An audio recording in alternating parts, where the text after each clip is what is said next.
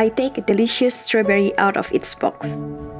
Like most Dutch people, I love strawberries. The fresh scent, the vibrant red color, and the delicious sweet flavor remind me of the strawberry fields of West Java and Indonesia.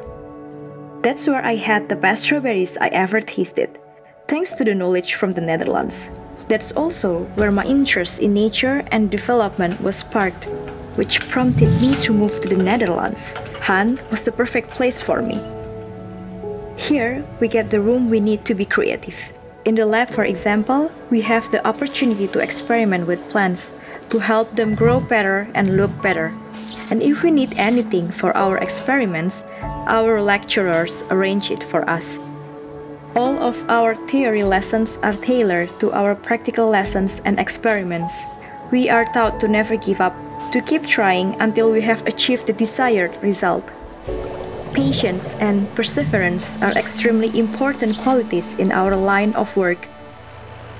I pride myself in being a patient person and never once thinking about giving up.